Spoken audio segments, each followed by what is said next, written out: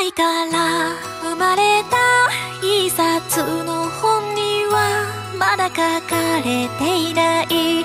恋という一文字どうしてみんなあれを知ろうとするの？あれにどんな魅力があるっていうの？もしかして君もあれを知りたかったり？あれを知らなきゃ君を知れなかったり？そんなのって